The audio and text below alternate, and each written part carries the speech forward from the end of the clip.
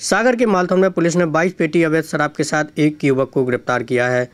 Police ने मुखबिर से मिली सूचना पर प्रेमपुरा गाँव के एक घर में दबिश देकर लगभग सत्तर हज़ार रुपए कीमत की शराब को जब्त किया। पुलिस ने कार्रवाई कर फ़िलहाल युवक को न्यायालय में पेश कर दिया है। कल दिनांक को, शाम को करीब सूचना मिली थी कि एक प्रेमपुरा में अवैध शराब रखी हुई है। तो विपिन यादव के पास अवैध शराब रखी हुई है। सूचना पर मकबर की सूचना पर मैं थाना प्रभारी और स्टाफ, थाना मालथौन एवं मरौदिया चौकी का स्टाफ लेकर के साक्षियों के साथ में तस्दीक की गई थी। तो विपिन यादव प्रेमपुरा के घर के पास, बगर के घर में, बाड़े में भूसा रखा था। भूसा में जाके तलाश की गई। तलाशी में वहाँ पर 22 पेटी अवैध देसी शराब मसाला की पाई गई। जो कुल कीमती सत्तर हज़ार रुपये। और